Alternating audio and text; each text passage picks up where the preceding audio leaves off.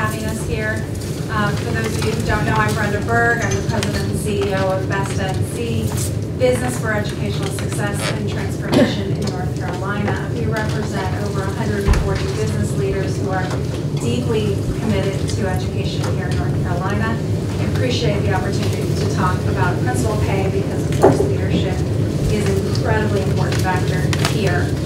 Um, Dr. Tozer, Dr. Baxter, I mean, you both knocked out of the park in terms of opening. And a lot of our work and our research has been founded on their work and their research, as well as a lot of input from Dr. Fritz. I'm really proud to be among such great company today. Um, we, uh, like Dr. Baxter we, uh, and Dr. Tozer, like to begin with the end, and the end is student achievement. So we're not here just to talk about adults and how we pay adults, we're here to talk about how paying adults can improve student achievement. Um, Dr. Tozer's results are phenomenal, extraordinary work in closing the achievement gaps, and ultimately that is what this is all about. And in North Carolina, we have sizable gaps. This is just one example. 40% of North Carolina students fail to meet the UNC minimum for uh, ACT college career readiness. That's an unacceptable uh, level. Hear back on the back, okay? Me there, okay? So student, so leadership matters. From a business perspective, we know leadership matters.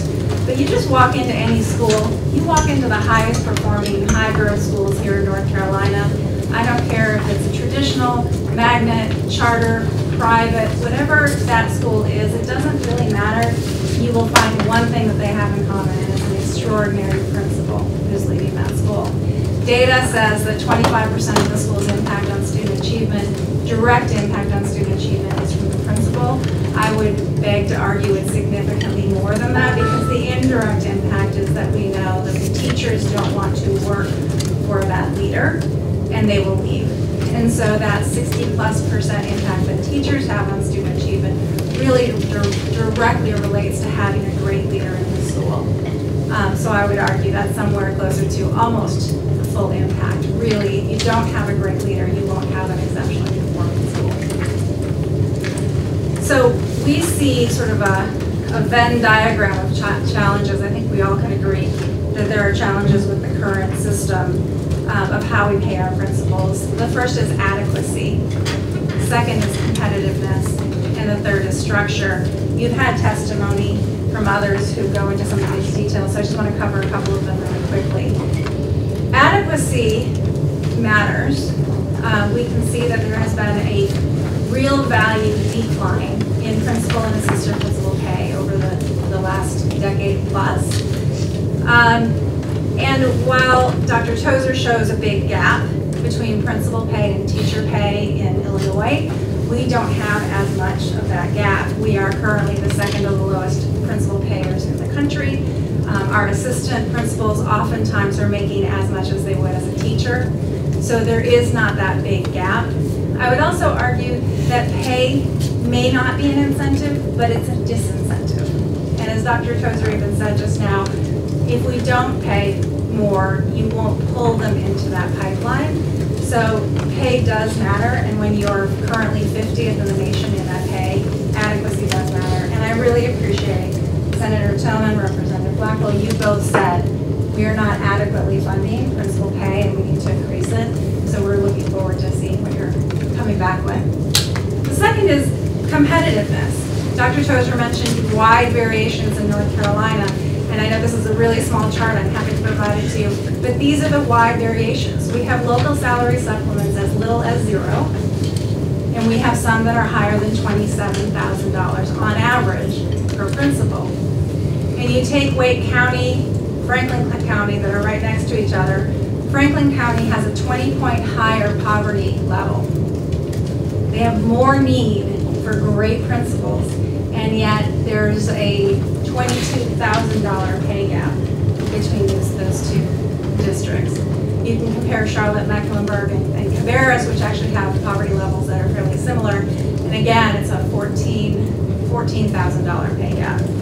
So there's a, there's a challenge here with competitiveness. And third, the structure of our schedule is providing disincentives where we really need incentives.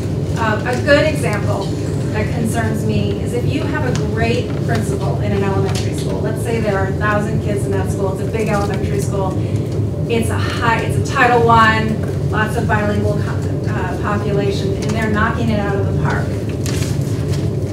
They will always get paid more to move to a bigger school, even if that bigger school does not have those challenges.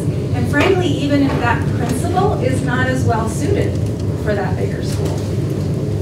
So why wouldn't we pay that principal who is doing great things for the students who need it most? Why aren't we paying to keep them where they're needed most? But the, the current schedule doesn't allow for that. It also, um, as we know, there are all sorts of incentives to move from school to school given the current schedule. And that's partially why we are the fifth worst in the nation in turning over our principals from school, moving from school to school. And that's the average. The average principal is moving every 2.7 to 3.2 years. Now that's the average. If you talk about a high challenge school, you're seeing principals turn over every year, every two years. Imagine going into that school that has a high need, name the need, and try to transform that in a year or two in a sustainable way so that when you leave, any gains that you had would continue. It doesn't make sense. And our current uh, structure just doesn't support that. So as you look at compensation priorities, I ask that you look at three things. One is how does it affect how you recruit your principals? How does it affect how you incentivize your principals? And how can it increase retention, not just overall retention, not just retention of anyone, but how can it improve how we retain principals where they can have their greatest impact?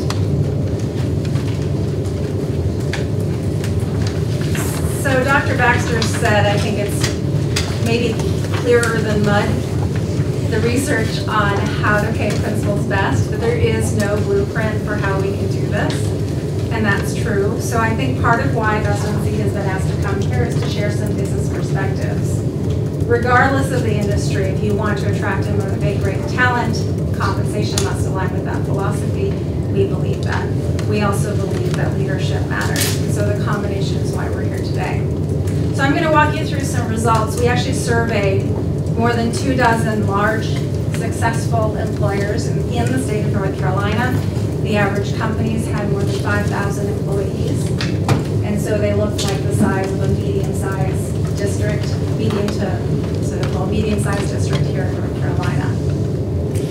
And we asked them to think about their executives who have 50 to 200 employees in their responsibility, maybe have a budget of 5 to 20 million dollars. Think about those employees. They're not necessarily the CEO, right? But what is their executive position? They typically refer to them as senior vice presidents or directors in their organization, and we ask them to think about how they compensate those high-level executives.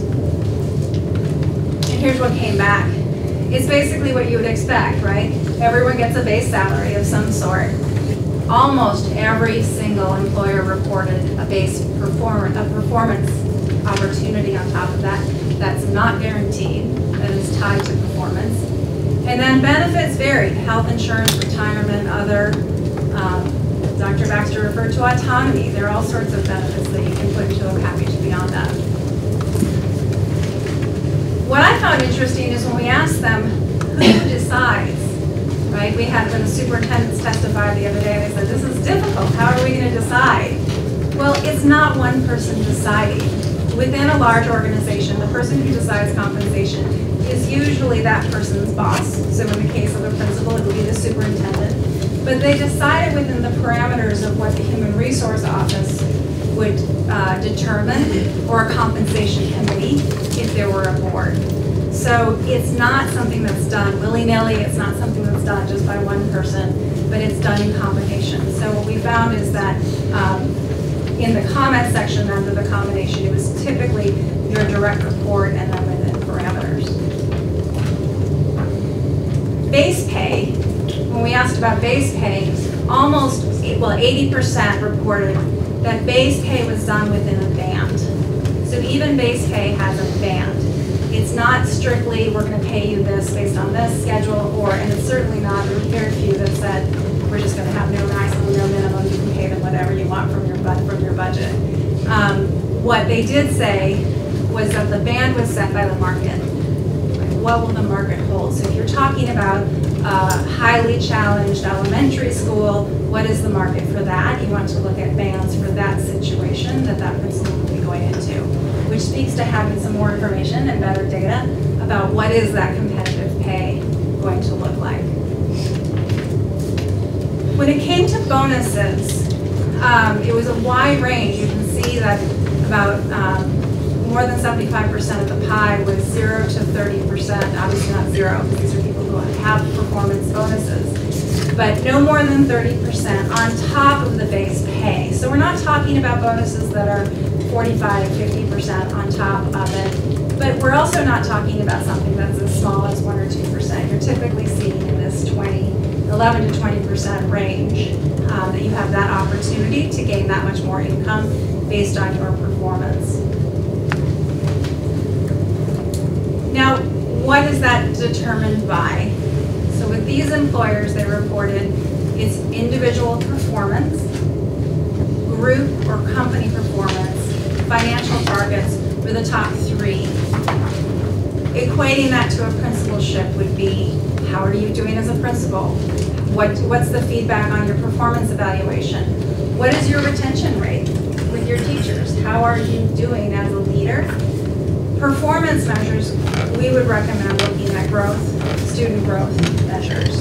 Um, And frankly, when you're talking about profit, right, in, in the private sector, you're talking about growth in education. That's the money, right? That's what we're trying to go for, that's what we're, we're trying to accomplish. So lessons from education look very similar. Dr. Baxter pointed out that it's kind of, there's not a lot of research in here, but the research lessons that we have learned on education innovations for principal pay have also used similar performance targets, student growth, performance evaluations. They mentioned demand for positions. So if someone's not, if you're not getting a demand for a rural position or a high poverty position, that that could come into the performance package. In the private sector, that looks more like demands. So that's something to pay attention to, just because it's being done. You might, because we are looking at North Carolina to be the first in the nation to do this on this scale, might want to consider that demand, demand for the position to go into the bands and not into the performance um, component. So to our recommendations. I'm actually going to start with one that's not on the list, um, because I think both of our previous speakers alluded to it. We need more data. North Carolina has the data, we can pull the data. Let's look at who we're paying, how we're paying them, what the turnovers are, uh, what their performance looks like. How is the system currently working now, and what results are we seeing? I think more data would be very helpful. But our first official recommendation is a salary increase. We, we need more, more um, pay for our our principals. We can't be 50th in the nation. We will not keep and, and attract great principals without that. If we can't do that in one year, I think what you did last year for teacher pay, where you put in a multi-year commitment, that kind of um, two, three-year plan would be fantastic. Second, we recommend that you somehow link principal pay with teacher pay. This is not sort of a business way of doing it. This is just common practical sense, and I'll tell you why. Well, As we have been advocating for principal pay over the last couple of years, when I talk to a principal and say, yes, we're, you need a raise, you haven't had one in nine years, or 1.2% in nine years, and and they say, oh, don't, don't, don't, Right, get, give it to the teachers. Um, And so why do you think we haven't had a principal raise in all that time? Because our principals are really focused on the teachers and getting them raises. I really do believe that the, the rising tide should lift all boats. If we're going to give raises for teachers, the best way to do it is somehow tied to the principal pay. Not necessarily just for the individuals, but making sure that that pot of money is also going up because as much as we love our principals, they're working really hard. I have to be honest, they, they, they're a small group, there are 2,500 of them, and they're not going to keep fighting to keep our cases going on. So that's one very practical reason to tie the two together. Um, Another example is, as we saw um, a couple of years ago with the significant teacher pay, some teachers are, act- were actually making more money than assistant principals because we hadn't made those adjustments. So that's another good example. Um, So we do recommend that in some way that you're attaching it to teacher salaries. Three, incorporate performance, very important to consider. Consider demands of the principal's assignments, that's where we talked about the demands, what are the demands on the assignment? Talking to some superintendents, they said, I may not want to pay a principal just because it's a bigger school. Other factors may be much more important for the demands of that school, and giving the superintendents the flexibility to do that and make those decisions is good. Align compensation with other priorities, especially since this is, we're talking about over $300 million of state money. Tying this to other priorities, third grade liter- literacy, the current plans for teacher leadership. What a great connection between the teacher leadership pipeline and the principal pipeline. So tying this in some way to other priorities, um, this is a great opportunity to do that. And last, again, because this is state money, um, and you have an opportunity for to provide guidance, those recommendations, number three, four, and five, putting in place guardrails so that the districts both have the inspiration but also the requirement